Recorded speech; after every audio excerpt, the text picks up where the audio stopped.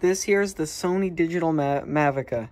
It's 1.3 megapixels. This was released in the year 2000. This was made when digital cameras just started to become a thing, but flash storage was so ridiculously expensive that this ran on floppy disks. A few years ago, I watched a video by P. Sivrai on a similar model of these cameras. It, that one was 0.3 megapixels, I believe, and I wanted one ever since. They were more expensive back then. Now, uh, that was back then. That was only a few years ago, maybe like two. Um, but anyway, these are cheap now. This was only like $35. I really wanted to capture like the old aesthetic. You know, that's becoming a huge thing nowadays, getting old digital cameras. So I wanted to take it to the next level and get a nice big incredible looking digital camera because this thing just looks looks you know hefty. Um anyway let's load up our floppy disk here and power it on. I'll show you sample shots from the camera at the end of the video. That was a cool noise. Let's power it on. Before that i want to say floppy disks are still kind of expensive kind of strange. Anyway i'm going to be showing some samples directly off the disks from my windows 98 computer. Um, at the end of the video, first we're going to do a little overview. Now, the power button, pretty stiff. You got to push it all the way over. There we go. We get the amazing boot up screen. Even it's a nice backlit display. We get the incredible... Uh, I'm just going to take a uh, sample photo of something. Uh, what do we take a photo of? My amazing uh, iPhone 4S. Maybe I'll make a video about this. Subscribe and find out. Uh, oh, I was gonna make a, yeah, that's what I was gonna say. I, I was gonna try to say something. Let's do this instead, because I get to promote my, a different video.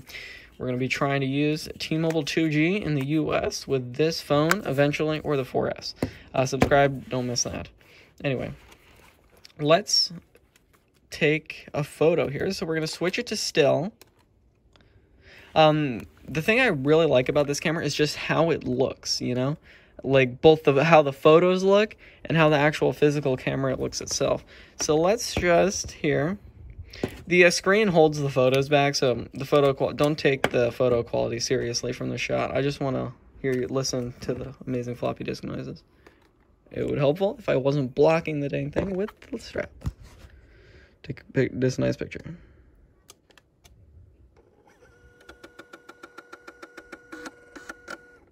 I hope you could hear those incredible floppy disk noises. This also has a movie feature. I believe this takes about five second videos. That's the uh, maximum you can take. Uh, so let's take a five second video real quick of something. Let's do a little setup tour. Here's this nice keyboard, mouse, all that good stuff over there. All of this junk. Yeah, five second recording. More floppy disk noises. I'm pretty sure it can hold about five photos in one video. That was my experience. Now let's switch over to play. You can see that our video is super small. It's 320 by something resolution. Um, yeah, every time you switch a photo, that's our photo there. Look better with the flash off and not on the screen. The photos actually look surprisingly good. Remember, stick around for that. All right, let's play this video now.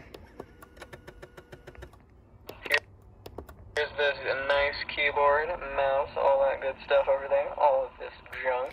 The screen is not holding the video quality back. It is just terrible. The microphone, it's okay. Now, these have these cool features to try to save battery. That's another reason why I picked this camera, because of the rechargeable battery. And if I grabbed an old digital camera and run on double A's, nope, this is rechargeable. You could turn off the LCD backlight to save battery life, and this little thing, I forget what exactly what they call it, but it's supposed to be, let's see if we can do something here. Yeah, you see that? You can see the screen a little bit. Light shines through it and lights the screen. It doesn't work very well in bright areas. So it's pretty useless, but it's a cool little feature. Now that we took a few photos, let's take the disc out, which is kind of difficult. You gotta press really hard, and then it shoots out.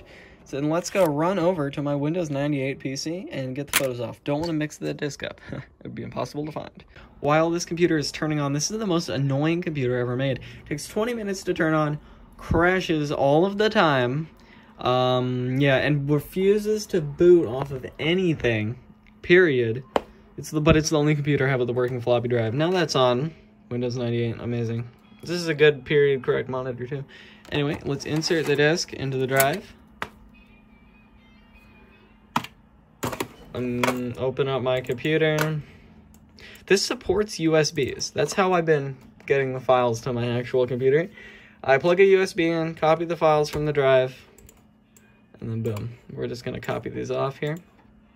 Crazy how long it takes to copy like a few hundred kilobytes off of this disk. Some amazing floppy noises here. Hopefully you can hear them. All right, it was too late there, but it's fine.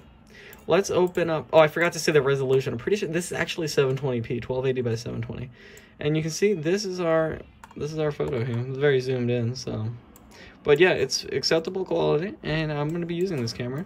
And once again, I'll show you some samples. Now, let's open the video on a big screen. This still looks horrendous. Yeah, there you go. That is the video quality from the Mavica.